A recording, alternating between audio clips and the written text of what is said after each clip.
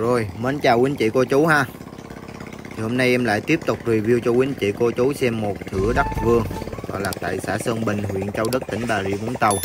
Thì cái thửa đất vườn ngày hôm nay là nó có diện tích là 2.500m2 Và cái ưu điểm của nó là có 300 thổ cư nha quý anh chị Và phủ hồng toàn bộ Và nằm trên cái mặt tiền bê tông này. Nhưng mà nó có tới nhiều mặt tiền ha Nó tới à, 45m mặt tiền lận nha quý anh chị thì vị trí thửa đất của mình á, thì nó rất là gần với hồ sông Ray.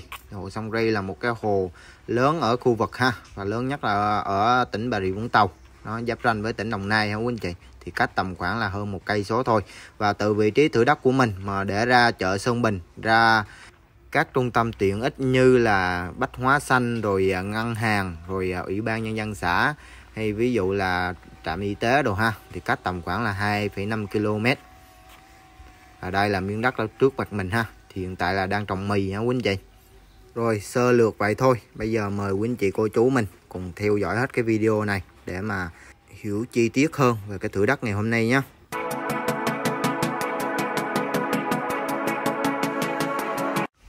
Đây là sổ của mình ha, địa chỉ là thuộc xã Sơn Bình, huyện Châu Đức, tỉnh Bà Rịa Vũng Tàu, diện tích là 2.552 m2.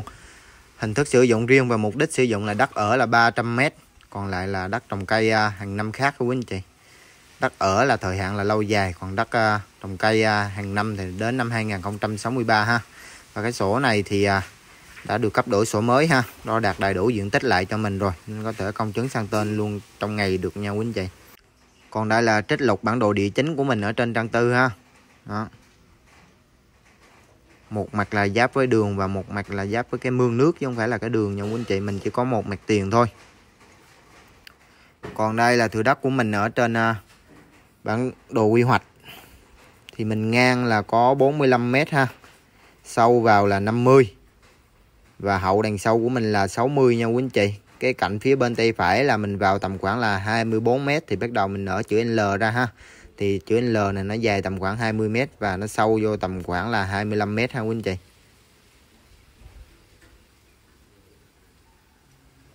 Tầm đó rồi bây giờ mở quy hoạch lên. Thì đất của mình là quy hoạch là hình như là phủ hồng gần hết rồi. Chỉ có mé mé phía sau là còn một ít là quy hoạch đất trồng cây lâu năm ha. Còn ngoài ra thì mình chỉ vướng một xíu đường thôi vào tầm khoảng là một hai mét gì đó. Ngoài ra mình không vướng bất cứ quy hoạch gì cả ha. Ranh giới của mình thì à, thật sự cũng đã rõ ràng lắm rồi nha quý anh chị.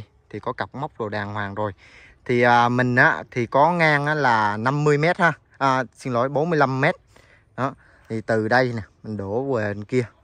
Cho tới gần gần gần gần cái ờ, trụ điện ờ, thứ hai nha quý anh chị là mình tầm khoảng là 45 mét ha. Và sâu về sâu á cạnh này là 50 cái cạnh sâu cũng tương tự như vậy nha quý anh chị. Đó. nhưng cái cạnh bên này qua 45 mét á thì bắt đầu mình xuống tầm khoảng là hơn 20 mét ha. Y như trên bản đồ quy hoạch là bắt đầu mình nở ra chữ L tầm tầm tầm khoảng là ba mươi mấy mét chứ. Là bắt đầu mình nở ra chữ L.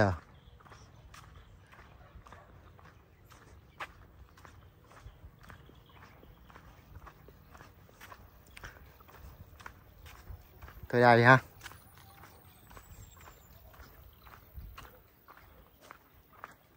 Đó. Tới đây. Tới đây nè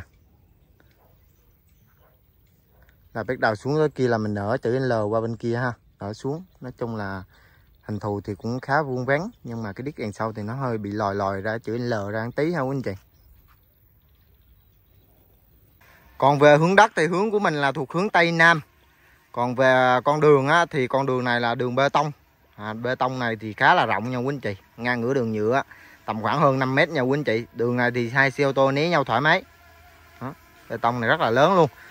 À, thì à, con đường này á, mình di chuyển ra thẳng á, tầm khoảng là hơn 300 mét là mình à, đụng trục đường nhựa.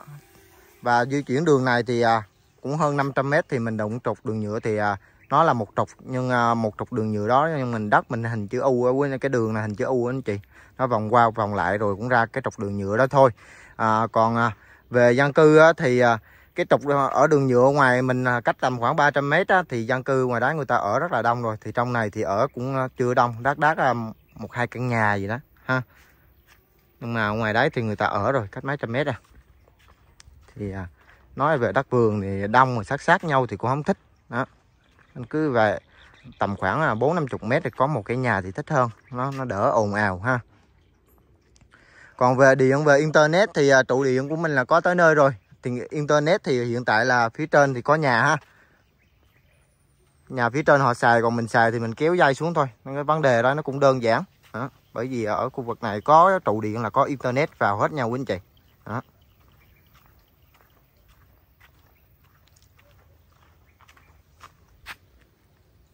còn về đất thì hiện tại đất của mình thì hiện tại đang trồng mì ha quý anh chị. Đó, đất trống đang trồng mì. Và cái đất này cũng nói luôn nha, thì à, nó cũng à, nói chung là bằng phẳng lài thì không nói tôi nổi lài lắm đâu. Nói chung là sơ sơ sơ sơ về cái hướng này à. Còn lại là bằng phẳng hết. Đó. Bởi vì trồng mì lên á mình nhìn thấy bằng ờ, mì nó lên nên mình nhìn thấy nó lài lài thật sự là nó cũng bằng phẳng. Và cái đất này thì ờ, nó là thấp hơn đường một xíu thôi. Tầm khoảng là 30 phân ha quý anh chị ba bốn mươi phân gì đó. Chứ nó không có bằng đường luôn ha. Còn về cái thổ nhưỡng thì đất ở đây là đất sỏi đỏ ha quý anh chị. À, cái đất này thì thổ nhưỡng cũng ok trồng trái cây rồi cũng được. Nó còn đỡ hơn cái đất đen. Hiện tại trồng hết mì nè.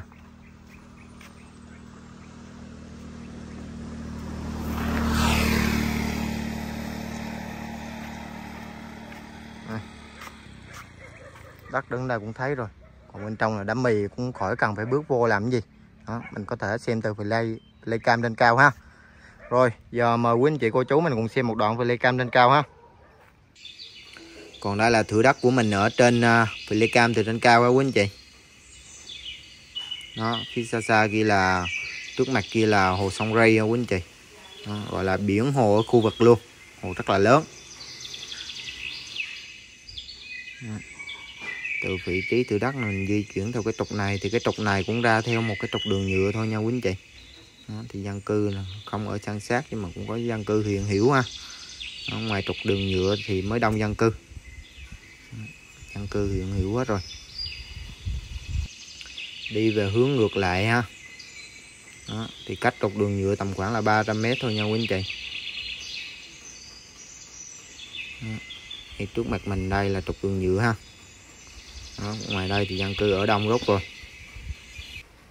còn đây là thửa đất của mình ở trên Google vệ tinh ha quý anh chị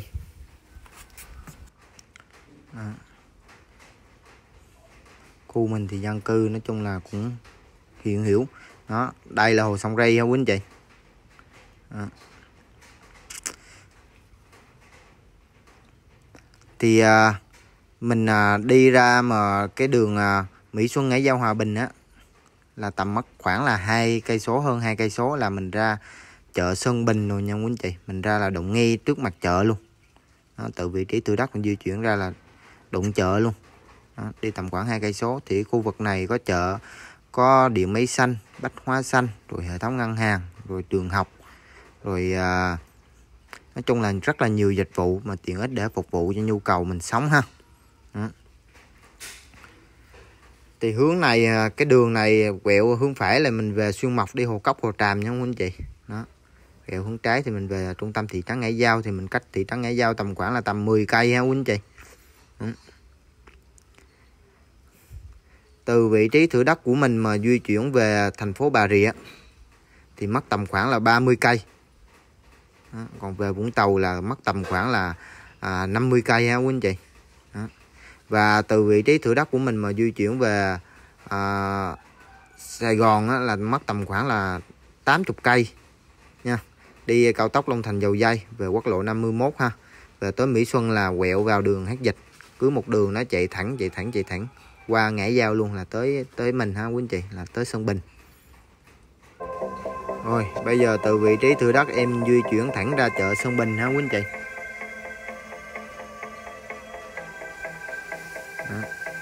Từ đây mà ra chợ thì mất tầm khoảng là à, 4 phút. Đó nhưng mà à, phải tua nhanh đi để mình coi mất thời gian của mình ha. À, đây là mình đụng trục đường nhựa rồi nha quý anh chị. Đó, khu này thì dân cư hiện hữu ở rất là đông đúc rồi.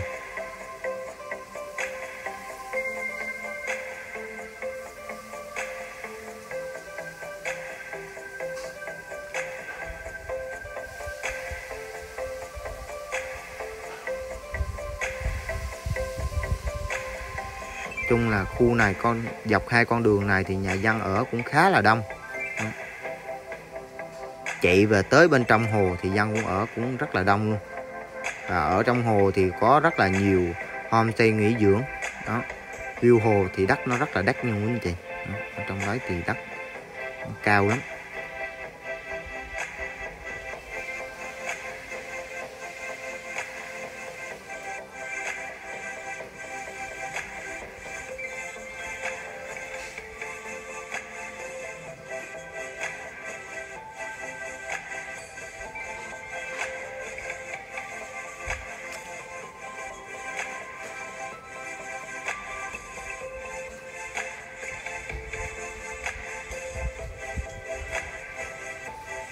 Thì để không làm mất thời gian của quý anh chị, cô chú thì em xin báo về giá ha. Thì chủ đang rao cái lô đất này với cái giá là 1 tỷ trên 1 ngàn mét vuông cho một lô đất mà có 300 thổ cư ha quý anh chị? Đó. Bây giờ mà 200 mét vuông mà kiếm 300 thổ cư thì nó cũng khá là ít. Đất có thổ cư thì hồi xưa nó rất ít và bây giờ đăng ký thì cũng hơi bị hạn chế.